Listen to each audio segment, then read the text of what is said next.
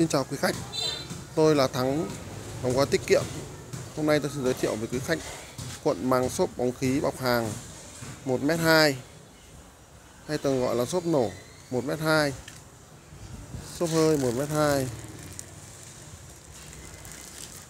Cuộn xốp bóng khí 1m2 Nhân với 100m Có trọng lượng 6 cân rưỡi, Đường kính đường kính của cuộn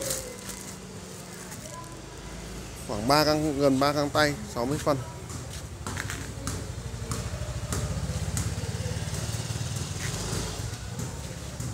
Đây, tôi sẽ cho một cuộn một mét rưỡi vào để các quý khách có thể ờ, theo dõi cho nó khách quan. Đây là cuộn mét rưỡi này.